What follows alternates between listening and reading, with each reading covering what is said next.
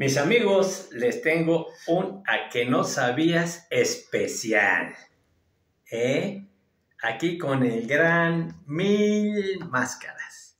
Y mi hermano Alberto y yo soy este, bien greñudo, ¿verdad? Bueno, pues en este a que no sabías especial, les voy a platicar que cuando estuvimos filmando esta película, este, pues pasaban unos detalles que todos nos quedamos así de wow, ¿no? Por ejemplo, llegó el Mil Máscaras en una ocasión, estamos todos comiendo en una mesa larga y llega con máscara, ¿no? Y dice, ah, caray, pues tengo hambre y pues voy a comer, pero pues me va a tener que quitar la máscara. Y todos volteamos a verlos, ¿no? Todo a la producción. Y que se empieza a quitar la máscara, amigos. Y dijimos, le vamos a ver la cara, ¿no? El rostro, a la leyenda se la quita. Pero claro, el Mil Máscaras tenía una máscara acá, se quita una y la otra aquí, pero abierta así, cubierta de acá, pero aquí abierta para poder comer.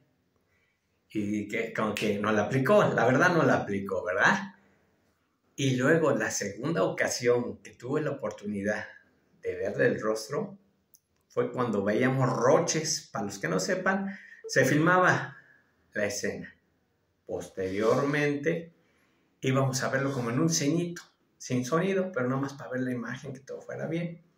Y ahí estaba también en, Mil Máscaras con su esposa, una japonesita, sin máscara. Pero como estaba oscuro, pues no se veía bien. dije, ay, en la torre, pues ahorita que se prenda la luz, ahora sí lo voy a ver.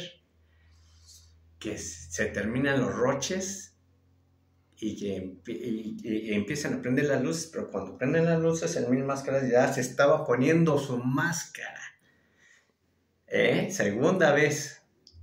La tercera vez sale un compañero de sonido, a quien le mando un saludo, a Rogelio Pichardo, y me dice, oye, ¿quieres conocer al Mil Máscaras sin máscara? Ah, caray.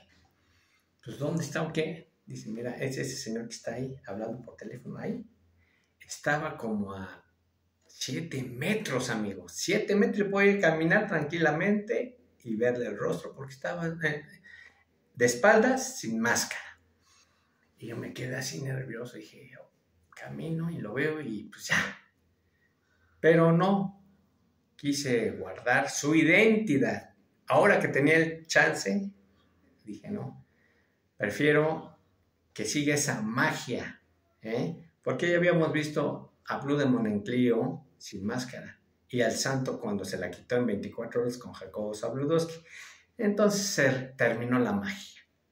Y yo preferí, amigos, darme la vuelta e irme, pero seguir con la magia del mil máscaras.